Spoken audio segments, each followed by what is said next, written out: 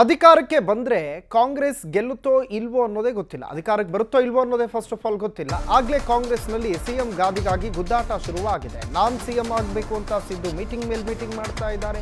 Chance ಸಿಕ್ಕಿದ್ರೆ ನಾನೇ CM ಅಂತ ಹೇಳಿ ಪರಮೇಶ್ವರ್ ಕೂಡ ಟವೆಲ್ ಹಾಕ್ತಾ ಇದ್ದಾರೆ.